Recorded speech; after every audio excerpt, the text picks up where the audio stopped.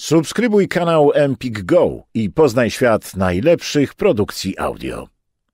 Wydawnictwo Albatros zaprasza do wysłuchania książki Donato Cariziego zatytułowanej Dom Głosów. Przełożyła Anna Osmulska-Mentrak. Czyta Leszek Filipowicz. Dla Antonia, mojego syna, mojej pamięci, mojej tożsamości. 23 lutego. Pieszczota we śnie. Na mglistej granicy oddzielającej od jawy, chwilę przed osunięciem się w przepaść zapomnienia, poczuła na czole lekkie dotknięcie mroźnych i delikatnych palców, któremu towarzyszył smutny i czuły szept. Jej imię. Słysząc je, dziewczynka otworzyła szeroko oczy i od razu ogarnął ją strach. Ktoś przyszedł ją odwiedzić, kiedy zasypiała. Mógł to być ktoś z dawnych mieszkańców domu. Czasem z nimi gawędziła albo słyszała, jak poruszają się niczym myszy tuż przy ścianach. Ale upiory przemawiały w niej, w środku, nie na zewnątrz. Także Ado, biedny Ado, melancholijny Ado, przychodził ją odwiedzić, lecz w odróżnieniu od wszystkich innych duchów, on nigdy się nie odzywał, dlatego niepokoiła ją pewna konkretna myśl. Poza mamą i tatą nikt w świecie żywych nie znał jej imienia. To była zasada numer trzy. Myśl, że mogła pogwałcić jedno z pięciu zaleceń rodziców, przerażała ją.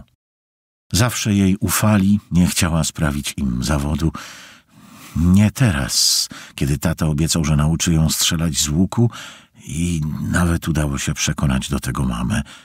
Ale po zastanowieniu pomyślała, jak mogło się to stać z jej winy. Zasada numer trzy. Nigdy nie zdradzaj swojego imienia obcym. Nie zdradzała go nieznajomym, nie było też możliwe, by któryś z nich poznał je przez pomyłkę. Między innymi dlatego, że od co najmniej paru miesięcy nie widywali nikogo, kto kręciłby się w okolicach gospodarstwa. Żyli w wiejskim odosobnieniu, od najbliższego miasta dzieliły ich dwa dni marszu. Byli bezpieczni, tylko ich troje. Zasada numer cztery. Nigdy nie zbliżaj się do obcych i nie pozwalaj, by oni zbliżyli się do ciebie. Jak więc to było możliwe? Wzywał ją sam dom nie znajdowała innego wyjaśnienia. Czasem belki trzeszczały złowieszczo albo wydawały z siebie melodyjne jęki. Tata mówił, że dom sadowi się na fundamentach, niczym starsza pani próbująca znaleźć wygodniejszą pozycję w fotelu. W półśnie jeden z tych dźwięków wzięła za swoje imię. To wszystko.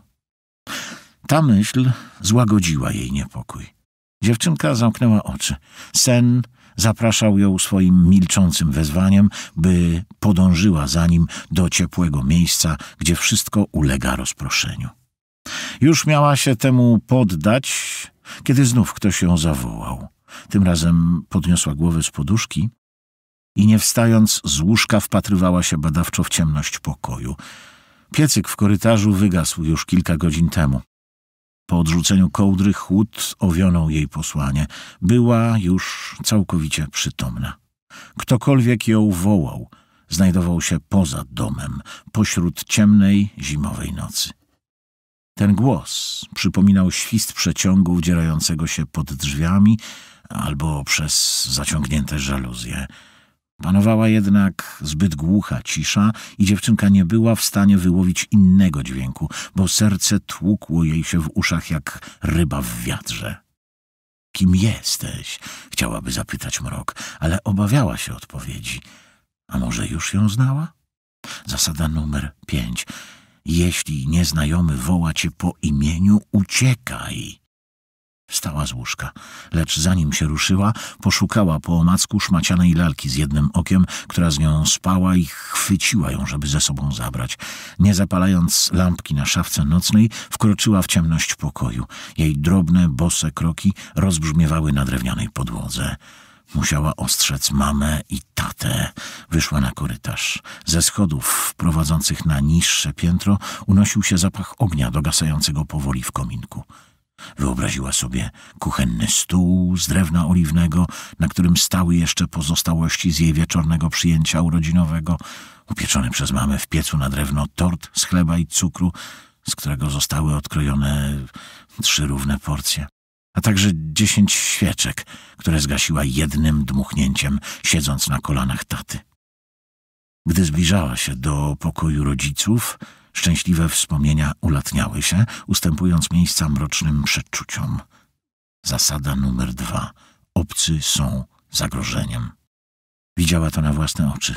Obcy zabierali ludzi, odciągali ich od rodziny. Nikt nie wiedział, gdzie potem trafiali, ani co się z nimi działo. A może była jeszcze za mała, jeszcze nie gotowa i nikt nie chciał jej o tym opowiadać. Co do jednego miała pewność, te osoby nigdy nie wracały. Nigdy więcej. Tato, mamo, ktoś jest przed domem, wyszeptała, przyjmując pewny ton kogoś, kto nie chce być już traktowany tylko jak dziecko. Tata obudził się pierwszy, chwilę potem mama. Dziewczynka od razu skupiła całą ich uwagę na sobie. Co słyszałaś? zapytała mama, gdy tymczasem tata brał do ręki latarkę, którą trzymał zawsze przy łóżku. Moje imię, odpowiedziała z wahaniem dziewczynka, obawiając się, że zostanie zdrugana za złamanie jednej z pięciu zasad. Ale nikt jej nic nie powiedział. Tata zapalił latarkę, osłaniając wiązkę światła dłonią w taki sposób, by ledwie rozproszyła ciemność w pokoju, dzięki czemu intruzi nie zdołaliby się zorientować, że ktoś się obudził. Rodzice o nic więcej nie pytali. Zastanawiali się pewnie, czy jej wierzyć, czy nie. Nie dlatego, że podejrzewali ją o kłamstwo. Dobrze wiedzieli, że nigdy nie zmyślałaby w takiej sprawie. Musieli tylko ustalić, czy to, co im powiedziała, odpowiada rzeczywistości. Dziewczynka naprawdę bardzo by chciała, żeby to wszystko tylko było owocem jej wyobraźni. Mama i tata byli czujni. Nie wykonali jednak żadnego ruchu. Z lekko uniesionymi głowami nasłuchiwali w ciemności, niczym radioteleskopy z jej książki do astronomii, które obserwują ukrywający się na niebie nieznany obiekt, a obsługujący je badacze odczuwają nadzieję i jednocześnie strach, że wychwycą jakiś sygnał. Bo, jak wytłumaczył jej ojciec, odkrycie, że nie są sami we wszechświecie, nie musi być wcale dobrą wiadomością. Obcy mogliby nie być aż tak przyjacielscy. Mijały niekończące się sekundy absolutnego spokoju. Jedynymi odgłosami były powiewy wiatru, który poruszał koronami suchych drzew, płaczliwe skrzypienie zardzewiałej metalowej chorągiewki na kominie i trzeszczenie starej szopy, niczym pochrapywanie wieloryba śpiącego na dnie oceanu. Nagle rozległ się metaliczny szczęk, upadające na ziemię wiadro, a dokładnie wiadro ze starej studni. Tata przyczepił je między dwoma cyprysami. Była to jedna z dźwiękowych pułapek, które co wieczór rozmieszczą wokół domu. Wiadro zawieszone było w pobliżu kurnika. Miała już coś powiedzieć, ale zanim zdążyła to zrobić, mama położyła rękę na jej ustach. Dziewczynka chciała podpowiedzieć, że może to jakieś nocne zwierzę, kuna albo lis, a niekoniecznie ktoś obcy. Psy, wyszeptał ojciec. Dopiero teraz przyszło jej to do głowy. Tata miał rację. Gdyby chodziło o lisa albo kunę, na dźwięk spadającego wiadra ich psy obronne na pewno zasygnalizowałyby szczekaniem obecność zwierząt. A skoro nie szczekały, istniało tylko jedno wyjaśnienie. Ktoś je uciszył. Na myśl, że jej czworonożnym przyjaciołom mogło się przytrafić coś złego, do oczu napłynęły jej gorące łzy. Z trudem powstrzymała się od płaczu i żal pomieszał się z nagłą falą przerażenia. Rodzicom wystarczyła krótka wymiana spojrzeń. Wiedzieli dokładnie, co robić. Tata wstał z łóżka pierwszy. Ubrał się w pośpiechu, ale nie włożył butów. Mama poszła w jego ślady, lecz zrobiła też coś, co na chwilę wprawiło córkę w osłupienie. Mama jakby poczekała na moment, kiedy tata nie mógł jej widzieć, a potem wsunęła rękę pod materac, wyjęła jakiś mały przedmiot i włożyła do kieszeni. Dziewczynka nie zdołała dostrzec, co to było. Wydawało jej się to dziwne. Rodzice nie mieli przed sobą tajemnic. Zanim zdążyła o cokolwiek zapytać, mama wręczyła jej drugą latarkę, uklękła i przykryła ramiona córki kocem. Pamiętasz, co mamy teraz zrobić? zapytała, patrząc jej uważnie w oczy. Dziewczynka skinęła głową. Stanowcze spojrzenie mamy dodało jej odwagi. Odkąd jakiś rok temu przeprowadzili się do opuszczonego gospodarstwa, dziesiątki razy wypróbowali procedurę, jak nazywał to tata, aż do tej pory nie było potrzeby wprowadzać jej w życie. Trzymaj mocno swoją lalkę, poleciła mama, po czym wzięła jej małą rączkę w swoją ciepłą i silną dłoń i pociągnęła za sobą. Kiedy schodziły po schodach, dziewczynka odwróciła się na chwilę i zobaczyła, że ojciec wyjął ze schowka jeden z kanistrów i wylewał jego zawartość wzdłuż ścian górnego piętra. Płyn rozbryzgiwał się na deski podłogi i miał gryzący zapach. Gdy dotarli na parter, mama pociągnęła ją za sobą do pomieszczeń na tyłach domu. Drewniane drzazgi wbijały się dziewczynce w stopy. Zaciskała usta, usiłując powstrzymać jęki wywołane bólem. Zresztą i tak na nic by się to teraz zdało. Nie było potrzeby ukrywania ich obecności. Przebywający na zewnątrz obcy już wszystko zrozumieli. Słyszała, jak kręcą się wokół domu, próbując dostać się do środka. Zdarzało się już w przeszłości, że w miejscu, które uznawali za bezpieczne, pojawiał się ktoś, kto próbował im zagrozić. W końcu jednak zawsze udawało im się zażegnać niebezpieczeństwo. Minęły z mamą stół z drewna oliwnego ze stojącym na nim urodzinowym tortem, w który wetknięte było dziesięć zgaszonych świeczek i emaliowanym kubkiem na mleko przygotowanym na jutrzejsze śniadanie. Minęły drewniane zabawki, które zrobił dla niej tata, puszkę z herbatnikami i półki z książkami, które czytali razem co wieczór po kolacji. Po raz kolejny będzie musiała się pożegnać ze znanymi jej rzeczami. Mama podeszła do kamiennego kominka, wsunęła rękę do komory dymowej i czegoś tam szukała. W końcu natrafiła na końcówkę poczerniałego od sadzy żelaznego łańcucha. Z całych sił zaczęła go przyciągać do siebie, a on obracał się na kółku ukrytym w kominku.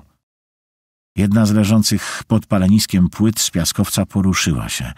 Była jednak zbyt ciężka. Tu potrzebny był tata. To on obmyślił ten system. Dlaczego tak długo go z nimi nie ma? Ta nieprzewidziana sytuacja jeszcze bardziej przestraszyła dziewczynkę. Pomóż mi, poleciła mama. Chwyciła łańcuch i ciągnęły razem. Matka niechcący potrąciła łokciem gliniany wazon stojący na półce nad kominkiem. Bezradnie patrzyły, jak rozbija się na podłodze. Głuchy dźwięk rozniósł się po całym domu. Chwilę potem ktoś zaczął walić mocno w drzwi wejściowe. Uderzenia rozbrzmiewały w ich uszach niczym ostrzeżenie. Wiemy, że tam jesteście. Wiemy, gdzie jesteście. Idziemy po was. Matka i córka szarpnęły łańcuch z jeszcze większą siłą. Kamień pod paleniskiem tym razem przesunął się wystarczająco. Matka skierowała latarkę na drewnianą drabinkę schodzącą na poziom fundamentów. Uderzenia w drzwi były coraz szybsze. Dziewczynka i jej mama obejrzały się w stronę korytarza i w końcu zobaczyły tatę, który nadchodził, trzymając dwie butelki. W miejscu korka miały mokrą szmatkę.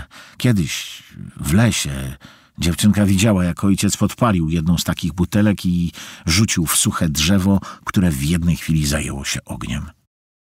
Obcy walili w drzwi wejściowe. Ku przerażeniu mieszkańców domu przytrzymujące je zawiasy odrywały się od ściany, a cztery zasuwy przy każdym uderzeniu wydawały się coraz bardziej poluzowane. W jednej chwili pojęli, że ta ostatnia bariera nie zdoła zatrzymać napastników na długo.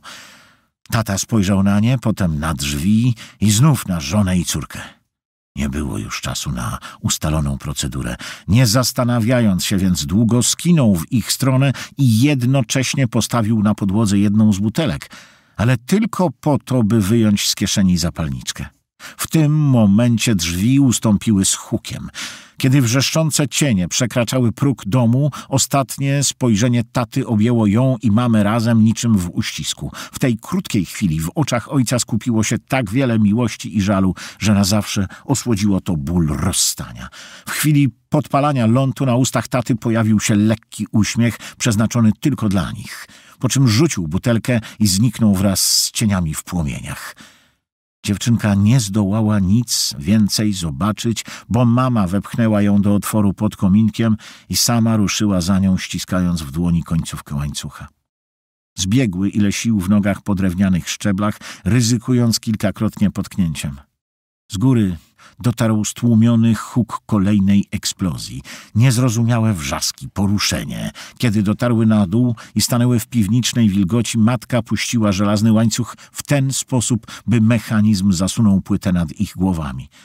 Coś się jednak zacięło i pozostała szeroka szpara. Mama próbowała odblokować urządzenie, ciągnąc i szarpiąc – Daremnie. Zgodnie z procedurą, w przypadku ataku, rodzina miała znaleźć schronienie tu, na dole, podczas gdy nad ich głowami płonąłby dom. Obcy być może by się przerazili i rzucili do ucieczki, a może uznaliby, że rodzina zginęła w pożarze. Plan przewidywał, że w chwili, gdy na górze powróci spokój, ona, mama i tata otworzą kamienny włas i wydostaną się na powierzchnię. Ale coś poszło nie tak. Wszystko poszło nie tak. Przede wszystkim nie było z nimi taty. A poza tym ta przeklęta płyta nie zamknęła się do końca. Tymczasem dom na górze już cały stawał w płomieniach. Dym przedostawał się przez szparę, żeby wykurzyć je z kryjówki. A z tego ciasnego podziemia nie było żadnej drogi ucieczki. Mama pociągnęła ją do najdalszego kąta tej katakumby. Kilka metrów od nich, w zimnej ziemi pod cyprysem, pochowany był Ado. Biedny Ado, melancholijny Ado. Powinni byli wyciągnąć go stamtąd i zabrać. Ale teraz one też już nie mogły uciec. Matka zdjęła koc z jej pleców. Dobrze się czujesz? zapytała. Dziewczynka przyciskała do piersi szmacioną lalkę z jednym okiem i drżała, mimo to skinęła głową. Więc posłuchaj, powiedziała matka. Teraz będziesz musiała być bardzo odważna. Mamo, boję się, nie mogę oddychać. Dziewczynka zaczęła kasłać. Wyjdźmy stąd, proszę. Jeśli wyjdziemy, obcy nas zabiorą. Przecież wiesz. Tego chcesz? Zapytała matka z wyrzutem. Tyle poświęciliśmy, by do tego nie doszło i teraz miałybyśmy się poddać? Dziewczynka podniosła oczy na sufit piwnicy. Już ich słyszała. W odległości niewielu metrów obcy próbowali pokonać płomienie, żeby przyjść po nią i mamę. Przestrzegałam wszystkich zasad, broniła się szlochając. Wiem, kochanie. Matka pogładziła ją po policzku. Dom głosów jęczał nad nimi, trawiony pożarem niczym zraniony olbrzym. Robiło to przejmujące wrażenie. Przez szparę pozostawioną przez niedomkniętą płytę z piaskowca wdzierał się jeszcze gęstszy i czarniejszy dym. Mamy niewiele czasu, stwierdziła matka. Jest jeszcze jeden sposób, żeby odejść. Włożyła rękę do kieszeni i coś z niej wyjęła. Tajemniczym przedmiotem, który ukryła nawet przed tatą, była szklana fiolka. Łyk na głowę. Wyjęła korek i podała buteleczkę córce.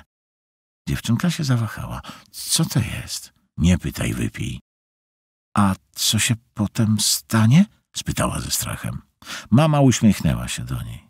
To woda zapomnienia. Zaśniemy, a kiedy się obudzimy, będzie po wszystkim. Ale córka jej nie wierzyła. Dlaczego procedura nie uwzględniała wody zapomnienia? Dlaczego tata nic o niej nie wiedział? Matka chwyciła ją za ramiona i potrząsnęła. Jaka jest zasada numer pięć? Dziewczynka nie rozumiała, dlaczego trzeba wymieniać w tej chwili zasady. Zasada numer pięć, no już, nalegała mama. Jeśli nieznajomy woła cię po imieniu, uciekaj, powtórzyła szeptem. Numer cztery? Nigdy nie zbliżaj się do obcych i nie pozwalaj, by oni zbliżyli się do ciebie. Odpowiedziała głosem, który tym razem zaczynał się łamać od płaczu. Trzecia. Nigdy nie zdradzaj swojego imienia obcym. Ale ja tego nie zrobiłam. Przysięgam.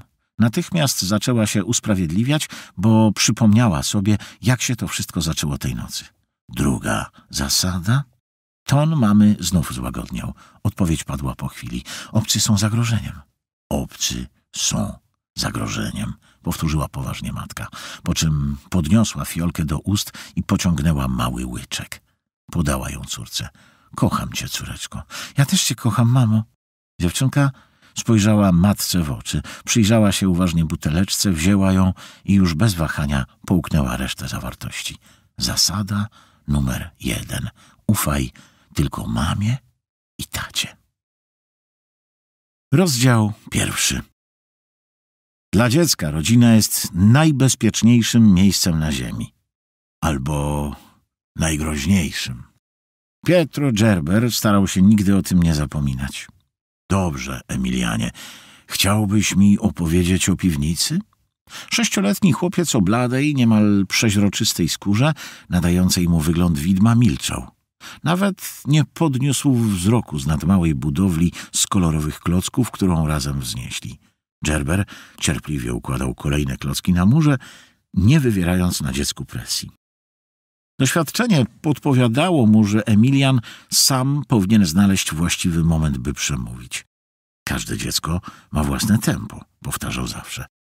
Gerber od co najmniej czterdziestu minut siedział w kucki obok chłopca na wykładzinie w barwach tęczy w pomieszczeniu bez okien na drugim piętrze czternastowiecznej kamienicy przy Via della Scala w samym środku historycznego centrum Florencji.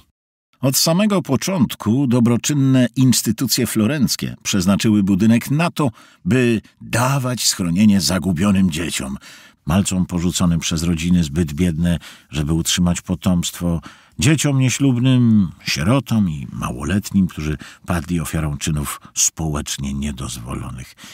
Od drugiej połowy XIX wieku kamienica pozostawała siedzibą sądu dla nieletnich – Nieruchomość wydawała się niemal anonimowa pośród przepychu otaczających ją budynków, w jakiś absurdalny sposób skupionych na niewielu kilometrach kwadratowych, co czyniło z Florencji jedno z najpiękniejszych miast świata.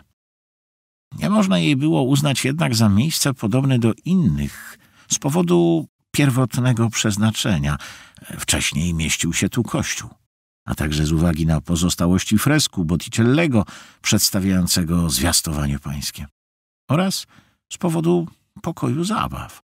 Poza klockami, którymi zajmował się Emilian, były tu rozmaite samochodziki, koparki, ciężarówki, dom dla lalek, kolejka, konik na biegunach, mała kuchenka do przygotowywania wyobrażonych smakołyków oraz najróżniejsze pluszaki. Stał też niski stolik z czterema krzesełkami i przyborami do rysowania.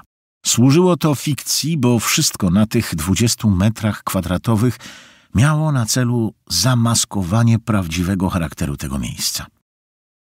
Pokój zabaw był w rzeczywistości salą rozpraw. Jedną ze ścian zajmowało wielkie lustro, za którym ukrywali się sędzia, prokurator oraz oskarżeni i ich obrońcy. Przestrzeń ta została stworzona, by zapewnić psychiczny komfort małym ofiarom, które proszono o złożenie zeznań w bezpiecznych warunkach. Dla ułatwienia w werbalizacji każdy przedmiot znajdujący się w pomieszczeniu został wymyślony i wybrany przez dziecięcych psychologów, aby móc przypisać mu konkretną rolę w opowieści lub interpretacji faktów. Dzieci często wykorzystywały pluszaki albo lalki, zamieniając się w odgrywanych scenach swoich oprawców i poddając zabawki takiemu traktowaniu, jakiego same doznały. Niektóre wolały rysowanie od opowiadania, inne wymyślały bajki, wplatając w nie odniesienia do tego, co je spotkało. Czasem jednak do wyjawienia pewnych rzeczy dochodziło nieświadomie. Właśnie dlatego z plakatów na ścianach wesołe postacie ze świata fantazji czuwały nad zabawami małych gości wraz z niewidocznymi mikrokamerami. Każde słowo, gest albo zachowanie były rejestrowane, aby stać się użytecznym dowodem przy wydawaniu wyroku. Pozostawały jednak odcienie, których elektroniczne oczy nie były w stanie zrozumieć. Detale, które zaledwie 33-letni Pietro Gerber potrafił precyzyjnie rozpoznać. Kontynuując z Emilianem budowę zamku z kolorowych klocków, Przyglądał się chłopcu uważnie w nadziei, że uchwyci choćby najmniejszą oznakę otwarcia. Temperatura w pomieszczeniu wynosiła 23 stopnie. Lampy podsufitowe promieniowały lekką, błękitną poświatą, a w tle metronom wystukiwał rytm 40 uderzeń na minutę. Tworzyło to najkorzystniejszą atmosferę do całkowitego rozluźnienia. Jeśli ktoś pytał Gerbera, na czym polega jego praca, nigdy nie odpowiadał psycholog dziecięcy specjalizujący się w hipnozie.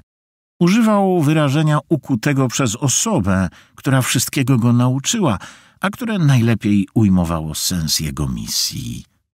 Usypiacz dzieci. Zdawał sobie sprawę, że wielu uważa hipnozę za coś w rodzaju praktyki alchemicznej, mającej na celu kontrolowanie cudzego umysłu. Albo sądzą, że osoba poddana hipnozie traci kontrolę nad sobą i własną świadomością, pozostając we władzy hipnotyzera, który może ją nakłonić do zrobienia czy powiedzenia wszystkiego, czego on zażąda. W rzeczywistości chodziło po prostu o technikę pomagającą ludziom, którzy się zagubili w odnalezieniu kontaktu z samym sobą. Nigdy nie traci się przy tym kontroli ani świadomości. Dowodem na to był mały Emilian, który bawił się jak zawsze. Dzięki hipnozie obniżał się poziom czuwania w taki sposób, żeby nie docierały zakłócenia ze świata zewnętrznego. Przy wykluczeniu wszelkich interferencji wzrasta percepcja samego siebie. Praca Pietra Gerbera miała jednak jeszcze bardziej szczególny charakter. Polegała na uczeniu dzieci porządkowania ich kruchej pamięci, zawieszonej między zabawą a rzeczywistością i odróżniania tego, co prawdziwe, od tego, co nie jest prawdą. Tak czy owak, czas, jaki miał do dyspozycji z Emilianem, kończył się i Gerber mógł sobie wyobrazić zirytowany wyraz twarzy pani Baldi, sędzi do spraw nieletnich, schowanej za lustrem wraz z pozostałymi osobami. To ona wyznaczyła go na konsultanta w tej sprawie i poinstruowała, o co powinien pytać chłopca. Do Gerbera należało wybranie najlepszej strategii, by skłonić Emiliana do podania mu niezbędnych informacji. Jeśli nie uzyska czegoś przez następne dziesięć minut, będą zmuszeni przesunąć przesłuchanie na inną datę. Psycholog nie chciał się jednak poddać. Spotykali się już czwarty raz, robili małe kroki naprzód, ale nigdy nie uzyskali prawdziwych postępów. Emilian, chłopiec przypominający widmo, powinien powtórzyć w siedzibie sądu historię, którą niespodziewanie opowiedział pewnego dnia nauczycielce w szkole. Problem leżał w tym, że od tamtej pory nigdy już nie napomknął o historii z piwnicy. Nie ma opowiadania, nie ma dowodu. Zanim Gerber uznał dzisiejszą próbę za niepowodzenie, pozwolił sobie na jeszcze jedno podejście. Jeśli nie chcesz mówić o piwnicy, nie szkodzi, powiedział, po czym, nie czekając na reakcję chłopca, przerwał budowę muru. Wziął kilka kolorowych klocków i rozpoczął obok inną konstrukcję. Gdy Emilian się zorientował, znieruchomiał i przyglądał mu się zaskoczony. Rysowałem w moim pokoju, kiedy usłyszałem wierszyk powiedział po chwili cichutko, nie patrząc na mężczyznę. Gerber nie zareagował. Pozwolił chłopcu mówić dalej. Ten o ciekawskim chłopczyku znasz? Emilian zaczął powtarzać jednostajnym głosem. Ciekawski chłopczyk sypie z piasku kopczyk. W milczącej ciszy głos jakiś słyszy, zjawa wesoła, jego imię woła. Wzywa chłopaka, chce mu dać buziaka. Tak, znam, potwierdził psycholog, kontynuując zabawę, jakby chodziło o zwykłą rozmowę. Więc poszedłem zobaczyć, skąd dochodził ten głos. I dowiedziałeś się? Dochodził z piwnicy. Po raz pierwszy Gerberowi udało się wyprowadzić myślenie Emiliana poza pokój zabaw. Teraz byli w domu chłopca. Musiał go tam zatrzymać jak najdłużej. Poszedłeś zobaczyć, co jest w piwnicy? Tak, Zszedłem tam. Potwierdzenie Emiliana było istotne. W nagrodę psycholog podał mu kolorowy klocek, zapraszając go w ten sposób do wznoszenia nowej budowli. Wyobrażam sobie, że było tam ciemno. Nie bałeś się iść sam? Zapytał, żeby przetestować po raz pierwszy wiarygodność świadka. Nie, odparł chłopiec bez najmniejszego wahania. Paliło się światło. I co znalazłeś tam? Y, na dole? Znów niezdecydowanie. Gerber przestał podawać mu klocki. Drzwi nie były zamknięte na klucz, jak innym razem, podjął opowieść chłopiec. Mama mówi, że mam ich nigdy nie otwierać, że to niebezpieczne, ale wtedy drzwi były trochę otwarte. Można było zajrzeć do środka. I zajrzałeś? Malec przytaknął. Nie wiesz, że nie wolno podglądać? Pytanie to mogło wywołać nieprzewidziany efekt. Słysząc naganę, Emilian mógł zamknąć się w sobie i nic więcej nie powiedzieć. Jeśli jednak Gerber chciał, by zeznanie chłopca było niepodważalne, musiał podjąć to ryzyko. Dziecko, które nie jest w stanie zrozumieć negatywnego znaczenia własnych czynów, nie może zostać uznane za wiarygodnego świadka czynów innych osób. Wiem, ale zapomniałem, że nieładnie jest podglądać, usprawiedliwił się malec. I co zobaczyłeś w piwnicy? Byli tam jacyś ludzie, powiedział tylko. Dzieci? Emilian pokręcił głową. Hmm, więc to byli dorośli? Chłopiec pokiwał głową. I co robili? Naciskał psycholog. Nie mieli ubrań. Tak jak na basenie albo nad morzem, czy tak jak pod prysznicem? Tak jak pod prysznicem. Informacja ta stanowiła cenny postęp w zeznaniu. Dla dzieci nagość dorosłych jest tabu, ale Emilian pokonał przeszkodę zakłopotania. I mieli maski. Dodał, choć Gerber wcale go o to nie zapytał. Maski? Udał zdziwienie psycholog, który znał już tę historię z relacji nauczycielki Emiliana. Jakie to były maski?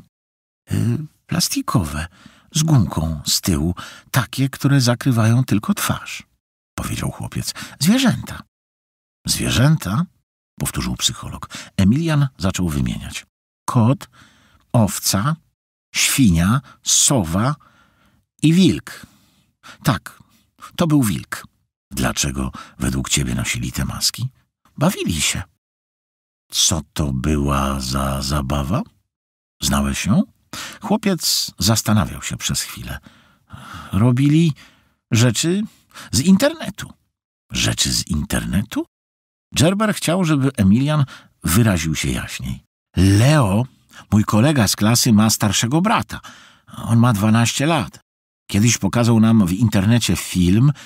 Wszyscy byli goli, obejmowali się w dziwny sposób i dziwnie się całowali. Podobał ci się ten film? Emilian się skrzywił. A potem brat Leo powiedział, że musimy zachować tajemnicę, bo to była zabawa dorosłych. Rozumiem, powiedział Gerber neutralnym, nie ujawniającym żadnej oceny tonem. Jesteś bardzo odważny, Emilianie. Ja bym się śmiertelnie przestraszył. Nie bałem się, bo ich znałem. Psycholog zrobił przerwę, bo moment był delikatny. Wiedziałeś, kim byli ci ludzie w maskach?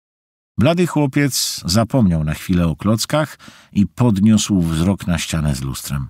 Za tym szkłem pięć osób w milczeniu czekało na jego słowa. Kot, owca, świnia, sowa i wilk. W tej chwili Gerber wiedział, że w żaden sposób nie może mu pomóc. Miał nadzieję, że malec skorzysta z doświadczenia swoich zaledwie sześciu lat życia, aby samodzielnie znaleźć w sobie odwagę i wymienić prawdziwych bohaterów tego koszmaru. Tata, mama, dziadek, babcia i ojciec Luka. Dla dziecka rodzina jest najbezpieczniejszym miejscem na ziemi. Albo najgroźniejszym, powtórzył Pietro Gerber w myślach. Dobrze, Emilianie, teraz Odliczymy razem do tyłu. Dziesięć. Rozdział drugi.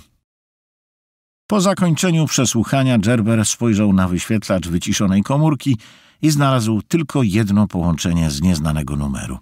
Gdy zastanawiał się, czy oddzwonić, usłyszał za sobą głos sędzi Baldi. Co o tym myślisz? Nawet nie zaczekała, aż Gerber zamknie za nimi drzwi biura. Prawdopodobnie wątpliwości dręczyły ją, odkąd skończyli przesłuchiwać Emiliana. Wiedział, że jej się śpieszy, by podzielić się z nim wrażeniami z zeznania chłopca. Prawdziwe pytanie było jednak inne. Czy chłopiec powiedział prawdę? Dzieci mają plastyczny umysł, oświadczył. Czasem tworzą fałszywe wspomnienia, ale nie są to w dosłownym znaczeniu kłamstwa. One są szczerze przekonane, że przeżyły pewne doświadczenia, nawet najbardziej absurdalne. Ich wyobraźnia jest tak żywa, że to, co nieprawdziwe, wydaje im się prawdziwe, ale też tak niedojrzała, że nie pozwala im odróżnić tego, co rzeczywiste, od tego, co takie nie jest. Sędzi najwyraźniej to nie wystarczało.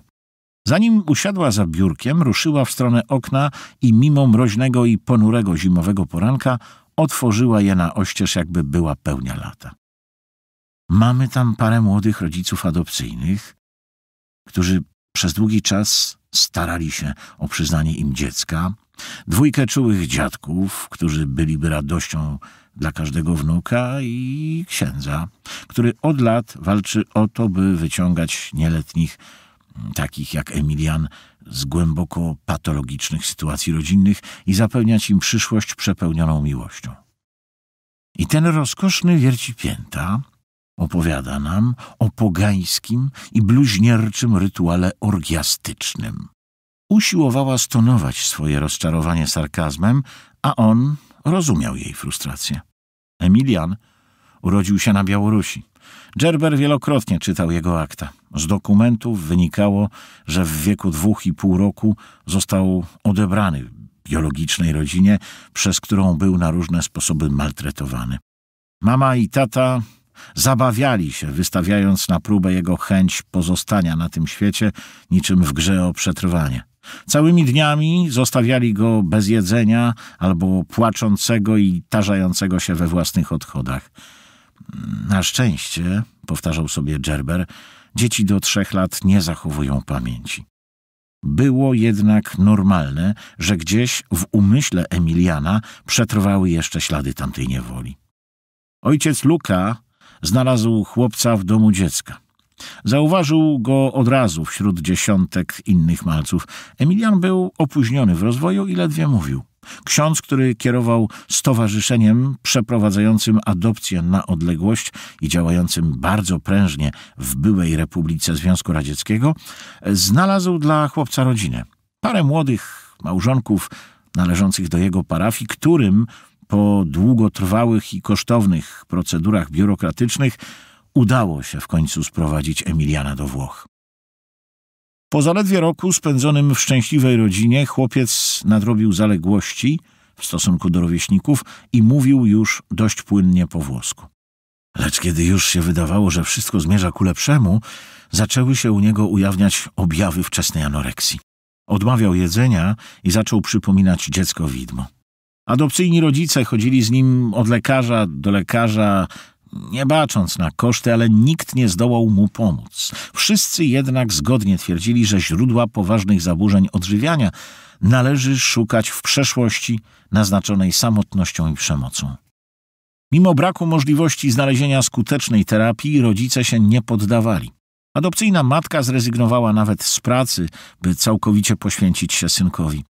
W tej sytuacji trudno się było dziwić, że sędzia Baldi okazywała rozdrażnienie z powodu kolejnego nieszczęścia, jakie spadało na kobietę i jej męża. Nie sądzę, byśmy mieli jakąś alternatywę, uświadomił jej jednak Gerber. Musimy dalej słuchać, co ma do powiedzenia Emilian. Nie wiem, czy mam ochotę tam siedzieć i go słuchać, powiedziała z nutą goryczy w głosie. Kiedy jesteś mały, nie masz wyboru, musisz kochać tego, kto wydał cię na świat. Nawet jeśli robi ci krzywdę. Przeszłość Emiliana na Białorusi to czarna dziura, natomiast teraz znajduje się w sytuacji całkowicie odwrotnej i odkrył właśnie, że jest w posiadaniu potężnej broni miłości swojej nowej rodziny. Używa bezkarnie tej samej miłości przeciwko nim w taki sam sposób, jak prawdziwi rodzice robili to w jego przypadku tylko po to, by sprawdzić, co się odczuwa na miejscu oprawcy. Ofiara, która staje się katem, zgodził się Gerber, który wciąż stał sztywno wyprostowany przed biurkiem. Właśnie tak. Rzuciła stanowczo sędzia, wymierzając palec prosto w jego twarz, by podkreślić, że trafił w sedno sprawy. Miała ochotę się wyładować.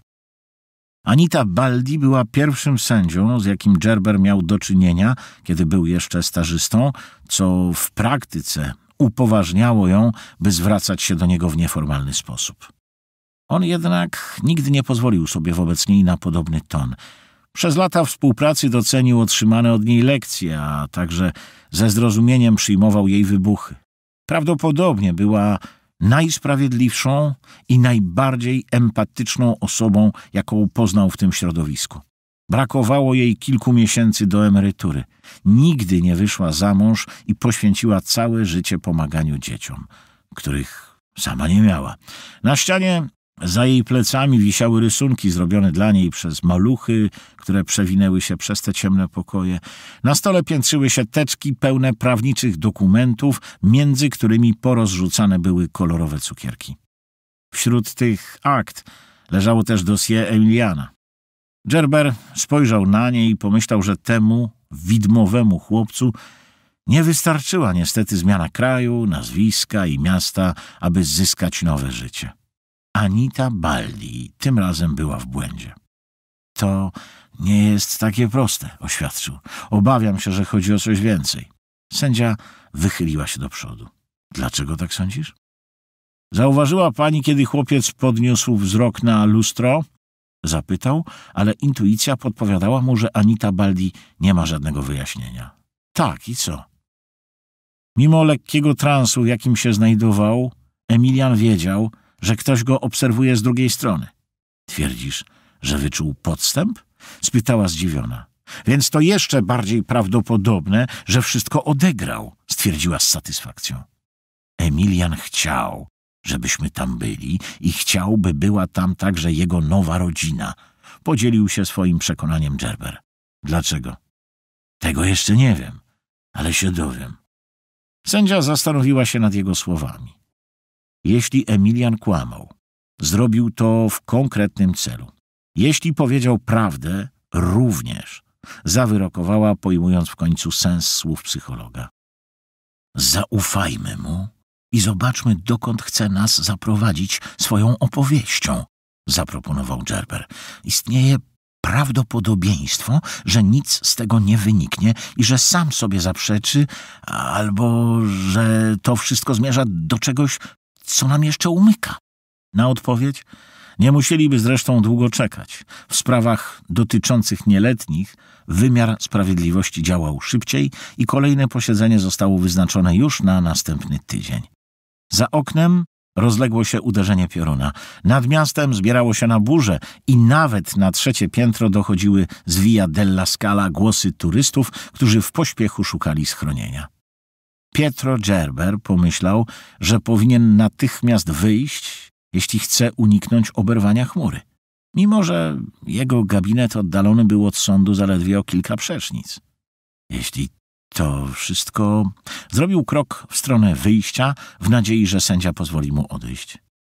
Jak się czują twoja żona i synek? zapytała Anita Baldi, zmieniając temat. Dobrze, odparł pośpiesznie. Musisz trzymać mocno przy sobie tę dziewczynę. A Marko, ile ma teraz lat? Dwa. Pietro wciąż obserwował sytuację za oknem. Dzieci mają do ciebie zaufanie. Ja to widzę, wiesz. Znowu podjęła temat Emiliana. Nie tylko przekonujesz je, by się otworzyły, ale też dajesz im poczucie bezpieczeństwa. Zawiesiła ze smutkiem głos. Dlaczego musieli zawsze zawieszać ze smutkiem głos? Zastanawiał się Gerber. Ta krótka pauza stanowiła preludium do zdania, które dobrze znał. I rzeczywiście sędzia dodała: On byłby z ciebie dumny. Słysząc to nie bezpośrednie nawiązanie do pana B, Gerber zesztywniał. Na szczęście w tej samej chwili zadzwoniła komórka, którą trzymał w kieszeni. Wyjął telefon i spojrzał na wyświetlacz. Znów nieznany numer, z którego dzwoniono już podczas posiedzenia sądu. Pomyślał o rodzicu albo opiekunie jednego ze swoich młodych pacjentów. Zauważył jednak, że numer poprzedza międzynarodowy prefiks. Możliwe, że chodziło o jakiegoś natręta? call center chcące mu wcisnąć jakąś ofertę nie do odrzucenia. Ktokolwiek to był, stanowił znakomity pretekst, by się oddalić. I jeśli pani pozwoli, powiedział Gerber, wskazując na telefon, by dać jej do zrozumienia, że obowiązki wzywają. Oczywiście, idź. Baldi w końcu zwolniła go gestem ręki. Pozdrów żonę i ucałuj synka. Zbiegał po schodach sądu, mając nadzieję, że zdąży przed burzą. Co pani powiedziała? Przepraszam? zapytał. Zakłócenia, wyładowania, połączenie było bardzo złe. Zapewne miała na nie wpływ również grubość murów starej kamienicy. Proszę poczekać, nie słyszę, rzucił do telefonu. Po przekroczeniu progu budynku znalazł się na ulicy dokładnie w momencie, gdy zaczynała się ulewa. Natychmiast wmieszał się w potok przechodniów próbujących uciec przed apokalipsą. Z podniesionym kołnierzem starego płaszcza berbery i dłonią zasłaniającą ucho próbował zrozumieć, czego chce ta kobieta. Mówiłam, że nazywam się Teresa Walker. Jesteśmy kolegami po fachu. Powtórzyła po angielsku, ale z akcentem, jakiego nigdy nie słyszał. Dzwonię z Adelaide, z Australii. Gerber zdziwił się, że połączenie pochodzi z drugiego końca świata. Co mogę dla pani zrobić, pani Walker? zapytał, przyspieszając kroku, gdy tymczasem woda zalewała wściekle wszystko dookoła. Znalazłam pański numer na stronie Światowej Federacji Zdrowia Psychicznego, powiedziała kobieta, by dodać sobie wiarygodności. Chciałabym przedstawić panu pewną sprawę. Jeśli może pani poczekać, za kwadrans będę w swoim gabinecie i będzie pani mogła lepiej wyjaśnić, o co chodzi. Przeskakując między kałużami, skręcił w wąską uliczkę. Nie mogę czekać, odparła zatrwożonym tonem. Nadchodzi. Kto nadchodzi? zapytał. Dokładnie w tej samej chwili, w której formułował to pytanie, ogarnęło go przeczucie, a z nieba dosłownie chlusnęło. Rozdział trzeci. Przeszedł go oślizgły dreszcz. Gerber nie potrafił w inny sposób określić oleistej konsystencji ogarniającego go powoli uczucia. Może właśnie dlatego poszukał schronienia w jednej z wielu mijanych bram. Musiał lepiej zrozumieć. Co pan wie o AS? AS, czyli amnezja selektywna. Poczuł zakłopotanie. Temat dosyć szeroko dyskutowano i kwestia była kontrowersyjna. Zdaniem niektórych psychologów chodziło o trudne do zdiagnozowania zaburzenie, inni stanowczo negowali jego istnienie. Niewiele odparł i była to prawda. Ale jak pan podchodzi do tematu? Jestem sceptyczny, przyznał. Z mojego zawodowego doświadczenia wynika, że nie da się usunąć z pamięci pojedynczych wspomnień. Według zwolenników teorii przeciwnej chodziło o mechanizm samoobrony uruchamiany przez psychikę w sposób nieświadomy. Może się to zdarzyć przede wszystkim w dzieciństwie. Sieroty powierzone nowym rodzicom zapominały nagle, że zostały adoptowane, Dzieci, które przeżyły poważne traumy albo były molestowane, całkowicie wymazywały z pamięci te doświadczenia. Kiedyś sam spotkał się z podobnym przypadkiem. Mały chłopiec był świadkiem zamordowania matki przez ojca, który następnie popełnił samobójstwo. Po latach Gerber znów go spotkał. Chłopak chodził do liceum i był przekonany, że obydwoje rodzice zmarli z przyczyn naturalnych. Przypadek ten nie wystarczył jednak, by przekonać Gerbera do zmiany opinii. Ja też sądziłam, że to niemożliwe, przyznała nieoczekiwanie Teresa Walker. U podstaw tej domniemanej utraty pamięci nie leży żadna przyczyna fizjologiczna, jak uszkodzenie mózgu. Szok też niczego nie tłumaczy, bo kiedy dochodzi do AS, traumatyzujące wydarzenie należy do przeszłości.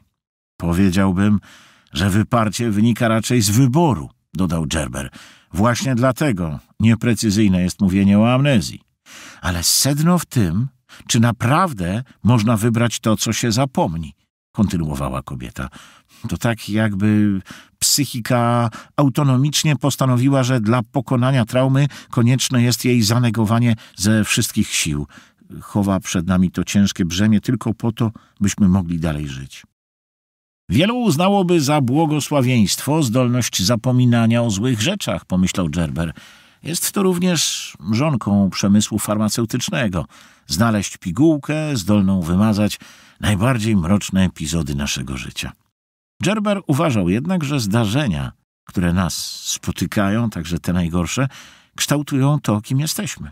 Są częścią nas, nawet jeśli robimy wszystko, by o nich zapomnieć. U dzieci, u których, jak sądzono, zdiagnozowano AS, wspomnienia z dzieciństwa bez jakiegokolwiek uprzedzenia wypłynęły na wierzch w wieku dojrzałym, przypomniał swojej rozmówczyni. A konsekwencje nagłego odzyskania pamięci są zawsze nieprzewidywalne, często szkodliwe. Ostatnie zdanie musiało szczególnie przyciągnąć jej uwagę, bo milczała. Ale dlaczego zadaje mi pani te pytania? Zainteresował się Pietro Gerber, przekrzykując dudnienie deszczu w przedsionku kamienicy, gdzie znalazł schronienie. Co to za dziwny przypadek? Chciała mi pani przedstawić. Kilka dni temu zjawiła się w moim gabinecie pewna kobieta, Hanna Hall, by poddać się terapii przez hipnozę. Jej celem miało być uporządkowanie bolesnej przeszłości. Podczas pierwszej sesji coś się jednak wydarzyło. Teresa Walker zrobiła długą pauzę. Gerber pomyślał, że szuka właściwych słów, by wyjaśnić, co ją tak poruszyło. Przez wszystkie lata praktyki nigdy mi się nie zdarzyło być świadkiem takiej sceny. Przyznała, zanim przeszła do rzeczy. Sesja rozpoczęła się bardzo dobrze. Pacjentka reagowała na terapię, współpracowała, ale w pewnym momencie zaczęła krzyczeć. Przerwała, jakby nie była w stanie kontynuować opowieści. W końcu podjęła. Z jej pamięci wyłoniło się wspomnienie morderstwa, do którego doszło, kiedy była dziewczynką. Nie rozumiem, dlaczego nie nakłoniła jej pani, by poszła z tym na policję, wtrącił się Gerber. Moja pacjentka nie powiedziała, jak doszło do zbrodni, sprecyzowała psycholożka, ale ja jestem przekonana, że jest w tym coś z prawdy. Zgoda, tylko dlaczego zwraca się pani z tym do mnie? Bo ofiara jest pochowana we Włoszech, w jakimś nieokreślonym miejscu na toskańskiej wsi i nikt nigdy się o tym nie dowiedział, oświadczyła Walker. Hanna Hall twierdzi, że wyparła to wydarzenie i dlatego jedzie na miejsce. Chce sobie przypomnieć, co tam zaszło. Hanna Hall była w drodze do Florencji. Choć nie znał tej kobiety, informacja go zaalarmowała. Proszę wybaczyć, y, rozmawiamy o osobie dorosłej, prawda? Przerwał jej Gerber. To pomyłka. Powinna się pani skontaktować z kimś innym, bo ja jestem psychologiem dziecięcym. Nie miał zamiaru obrazić koleżanki po fachu, ale czuł się nieswojo i nie wiedział dlaczego. Ta kobieta potrzebuje pomocy, a ja stąd nie mogę nic zrobić. Teresa Walker zignorowała jego próbę pozbycia się jej. Nie możemy ignorować tego, co powiedziała. My? Był zirytowany. Dlaczego miałby się angażować w tę sprawę? Wie pan lepiej ode mnie, że nagłe przerywanie terapii przez hipnozę nie jest wskazane, powiedziała, że mogłoby to przynieść poważną szkodę dla psychiki. Zdawał sobie z tego sprawę, ale nie czuł się zobowiązany moralnie do włączania się w tę sprawę. Moi pacjenci mają maksimum 12-13 lat, zaprotestował. Hanna Hall utrzymuje, że do zabójstwa doszło, zanim ukończyła 10 lat. Naciskała z uporem jego rozmówczyni. Najwyraźniej nie zamierzała się poddać. Może chodzić o mitomankę. Wzięła to pani pod uwagę? Odparł Gerber, który naprawdę nie chciał mieć z tym nic wspólnego. Gorąco polecam psychiatrę. Twierdzi, że ofiarą był chłopiec o imieniu Ado. To ostatnie zdanie pozostało w zawieszeniu pośród dudniącego deszczu. Pietro Gerber nie miał już siły na reakcję. Może jest ktoś niewinny, pochowany nie wiadomo gdzie, kto zasługuje na to, by prawda wyszła na jaw. Kontynuowała ze spokojem Teresa Walker. Co miałbym zrobić? Ustąpił w końcu. Hanna nie ma nikogo na świecie. Proszę sobie wyobrazić, że nie ma nawet komórki. Obiecała jednak, że gdy tylko dotrze do Florencji, da mi znać. Wtedy skieruję ją do pana. Tak, ale co miałbym zrobić? powtórzył pytanie. Wysłuchać jej, odparła. W tej dorosłej kobiecie jest dziewczynka, która chce tylko przemówić. Ktoś powinien wejść z nią w kontakt i jej wysłuchać. Dzieci mają do ciebie zaufanie, ja to widzę. Wiesz. Właśnie tak powiedziała parę chwil temu sędzia Baldi. Nie tylko przekonujesz je, by się otworzyły, ale też dajesz im poczucie bezpieczeństwa. On byłby z ciebie dumny. Pan B by się nie cofnął. Pani Walker, czy jest pani pewna, że po tylu latach naprawdę warto? No nawet gdybyśmy poprzez hipnozę zdołali wydobyć z pamięci tej kobiety wspomnienie tego, co przytrafiło się temu Ado, będzie to już wypaczone przez czas i inne doświadczenia, zanieczyszczone przez życie, które nastąpiło potem. Hanna Hall mówi, że wiek to zabił chłopca. Przerwała mu kobieta. Gerber się zaciął. Znów owładnęło nim to nieprzyjemne uczucie z początku rozmowy. Kto? zapytał w końcu. Ona. Subskrybuj kanał Empik Go i poznaj świat najlepszych produkcji audio.